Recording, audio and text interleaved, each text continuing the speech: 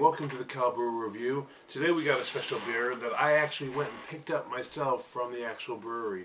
This is the Benchwarmer Porter from Cooperstown Brewery in Milford, New York. I have pretty much every beer from them to do a review on, but this one came, I got in the growler because the growler's badass. So we're going to do this one because this one will have a little bit shorter of a shelf life than the bottles. So, fail.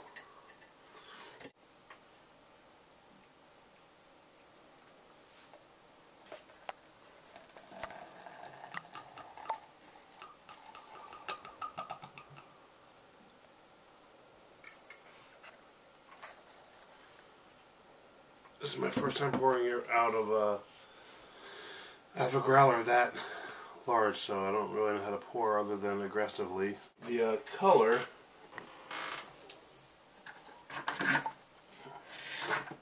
is quite black, but there is some red in there. If you look carefully up against the light, there is like a, like a blood red quality to the bottom. On smell, you know what?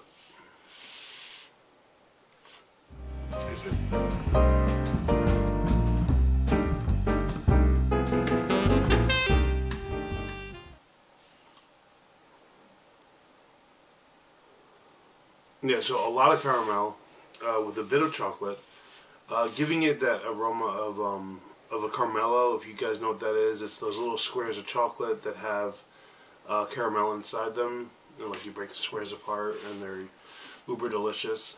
That's what I'm getting on the nose. Let's give it a taste.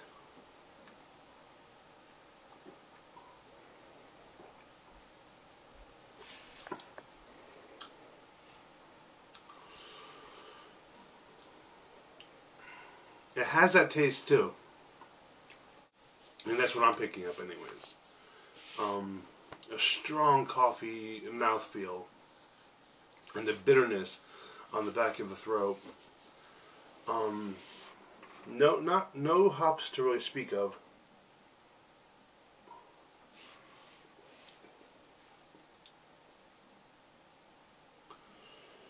Um,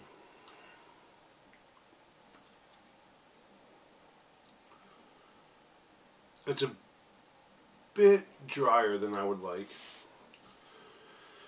and a bit more bittery than I would like. But the initial flavor of this beer, uh, the flavor is very good. Um, but then it finishes out into this bitterness that I'm just not about. See, I mean, I mean, it's not bad. It's a very well, well crafted beer, but just not my cup of tea. So I'm going to do what I've been doing, and that's uh, go away for 20 minutes and continue to sip on this and come back and tell you how it is once it's opened up a bit. Alright, so we're back, and it's been about 15 minutes. Um, now on the nose,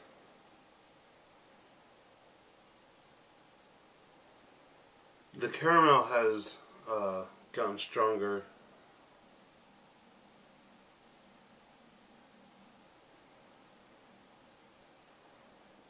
But I'm not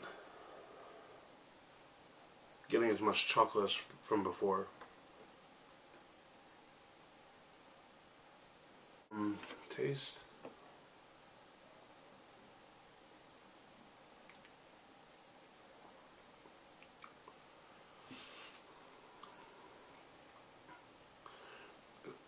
It's a good solid flavor. Just I, I'm not a fan of the mouthfeel that's leaving at the end. A bit too bittery and coffee like for me. And people that know me know that I enjoy a cup of coffee here and there, but I'm not a coffee fanatic. I've just I've been toying around with different rating uh, um, ideas of how I want to rate things, and I feel that giving a beer just a straight pass, fail, one to ten rating is unfair because I feel like there's there are different um, circumstances to each beer. I'm to break it down into flavor, appearance, aroma, um, originality, um, and drinkability. Um, and maybe more, maybe less. I haven't decided yet. Um, so I'm not going to do a full-fledged rating on this because um, I'm just lazy today because we're going to uh, Ommegang uh, Brewery, uh, also in Cooperstown. Um, so I'm excited to get out of here and head over there. So, but for me, I'm just going to give uh, thumbs up, thumbs down. I'm thinking that the originality uh, rank won't be employed with too many beers because there's a lot of breweries, there are very few breweries that stray from traditional recipes, which is cool because tradition is where it all came from. Um, on the color, I give it a, a thumbs up. On the aroma, two thumbs up.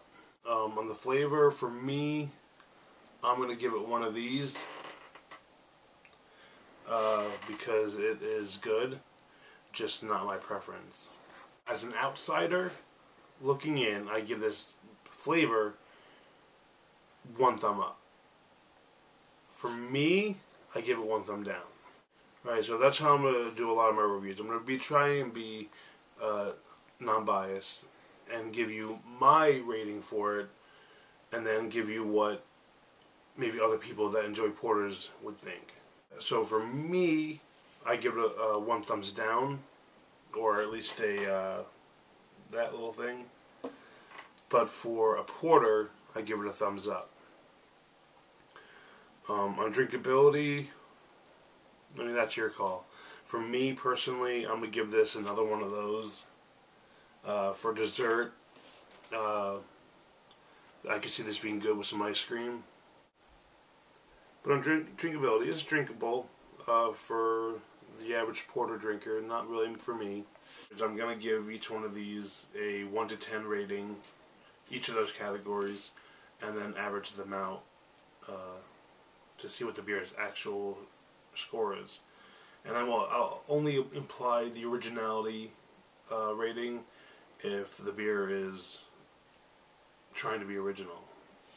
Um, so you might see that rating with uh, Stone Brewing, uh, Dogfish, uh, and some others.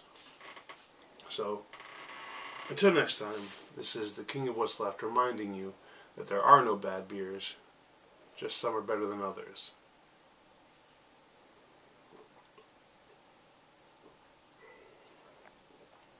Cheers.